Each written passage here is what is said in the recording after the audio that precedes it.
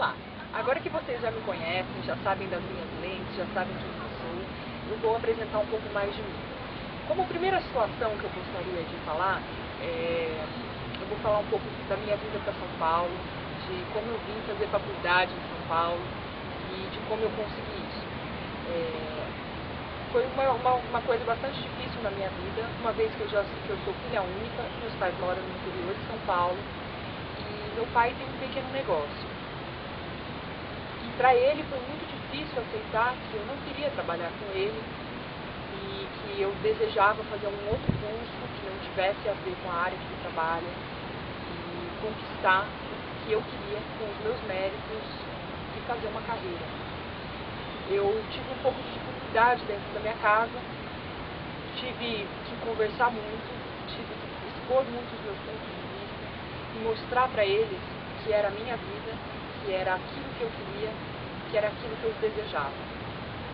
No primeiro momento eles não me apoiaram, então eu tive que conversar muito para conseguir fazê-los entender, fazer os meus pais entenderem que era a minha vida, que eu precisava disso. isso eu, depois de muita conversa, depois de muito diálogo, eu consegui fazer a faculdade que eu quis, entrei na faculdade e vivo em São Paulo hoje, faz cinco anos. E hoje eu tenho a certeza de que eu fiz o que era melhor para mim, que eu tive uma boa escolha e que hoje os meus pais me apoiam muito nessa escolha e eles torcem pelo meu futuro, sabem que eu estou feliz, sabem que essa decisão foi minha e eles apoiam isso hoje.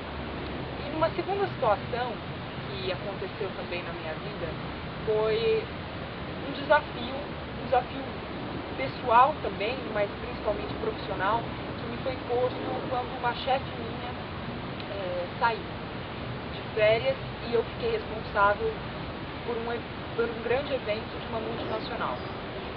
Eu tive que coordenar toda a parte de comunicação, materiais de comunicação desse evento, é, tudo que ia acontecer nesse evento, o conceito do evento, junto com o cliente e com a agência de eventos. Né?